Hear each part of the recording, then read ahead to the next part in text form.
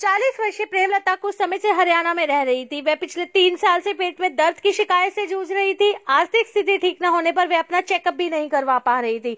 जब उन्होंने इस संबंधी शहर में रहने वाले अपने भाई को बताया तो उन्होंने प्रेमलता को यहाँ बुला लिया। चेकअप कराने पर पित्त में पथरी का पता चला, लेकिन जब डॉक्टरों ने ऑपरेशन कर पित्त की थैली बाहर निकाली तो वह भी हैरान रह गए। दरअसल महिला के पित्त की थैली में 1560 पथरियाँ थी। डॉक्टर के अनुसार मेडिकल हिस्ट्री में ऐसा केस रेयर ही आता है।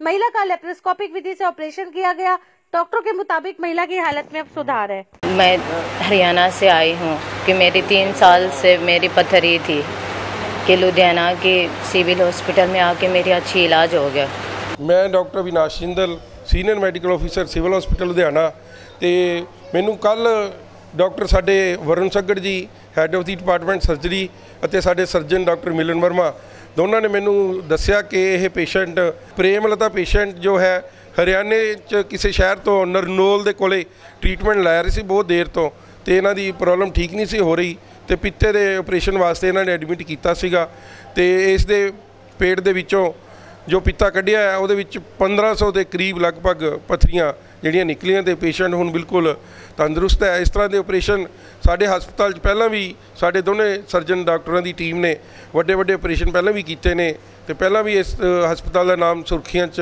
ਕਾਫੀ ਆਇਆ ਹੈ। ਤੇ ਜਿਸ ਕਰਕੇ ਇਹ ਪੇਸ਼ੈਂਟ ਦੱਸ ਰਹੇ ਨੇ ਕਿ ਇਹਨਾਂ ਦੇ ਜੀਜਾ ਜੀ ਇੱਥੇ ਰਹਿੰਦੇ ਨੇ ਤੇ ਇਹਨਾਂ ਨੇ ਵੀ ਜੀਜਾ ਜੀ ਨੇ ਵੀ ਇਹਨਾਂ ਨੂੰ ਹਰਿਆਣੇ ਤੋਂ ਬੁਲਾਇਆ ਕਿ ਸਿਵਲ ਹਸਪਤਾਲ 'ਚ ਆਪਰੇਸ਼ਨ ਬੜੇ ਵਧੀਆ ਤੇ ਫ੍ਰੀ 'ਚ ਹੁੰਦੇ ਨੇ ਤੇ ਇਸ ਕਰਕੇ ਅਸੀਂ ਕਹਿੰਦੇ ਹਰਿਆਣੇ ਤੋਂ ਆ ਕੇ ਇੱਥੇ ਆਪਰੇਸ਼ਨ ਕਰਵਾਇਆ ਹੈ।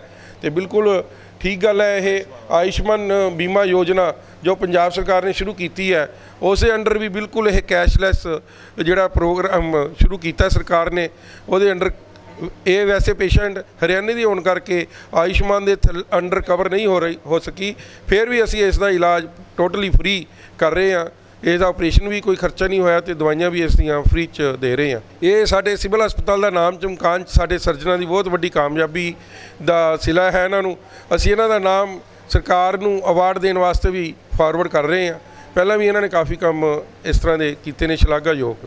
ਦੇਖੋ ਜੀ, ਇਸ ਆਪਰੇਸ਼ਨ ਦੇ ਵਿੱਚ ਮੇਨ ਇਹ ਸੀਗਾ ਵੀ ਪਥਰੀਆਂ ਇੰਨੀਆਂ ਜ਼ਿਆਦਾ ਸੀ। ਆਪਰੇਸ਼ਨ ਦੇ ਦੌਰਾਨ ਦੂਰਬੀਨ ਰਾਹੀਂ ਪਤਾ ਲੱਗਿਆ ਕਿ ਪਿੱਤੇ ਸੈਂਕੜਿਆਂ ਦੇ ਹਿਸਾਬ ਨਾਲ ਪਥਰੀਆਂ ਤੇ ਉਹ ਇਹ ਡਰ ਸੀਗਾ ਵੀ ਆਪਰੇਸ਼ਨ ਦੌਰਾਨ ਪਿੱਤਾ ਫਟ ਨਾ ਜਾਏ। ਜੇ ਫਟ ਜਾਏ ਤਾਂ ਸਾਰੀਆਂ ਪਥਰੀਆਂ ਪੇਟ 'ਚ ਫੈਲ ਜਾਣਗੀਆਂ ਤੇ ਫਿਰ ਮਰੀਜ਼ ਨੂੰ ਦਿੱਕਤ ਆਏਗੀ। ਦੂਜੀ ਚੁਣੌਤੀ ਸੀਗੀ ਕਿ ਜਦ ਪਿੱਤਾ ਛੋਟੇ ਛੇਕ 'ਚੋਂ ਦੂਰਬੀਨ ਜਿਹ 'ਚੋਂ ਪਾਣੇ ਉਹ 'ਚੋਂ ਬਾਹਰ ਕੱਢਣਾ ਸੀਗਾ, ਉਹ ਪਥਰੀਆਂ ਪਹਿਲੇ ਕੁਝ ਖਾਲੀ ਕਰਕੇ ਫਿਰ ਪਿੱਤਾ ਕੱਢਿਆ ਗਿਆ।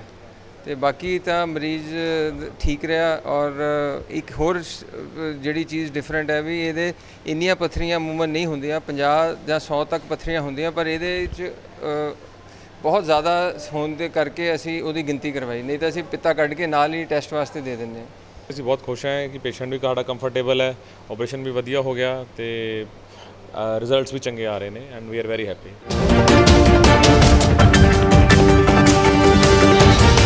What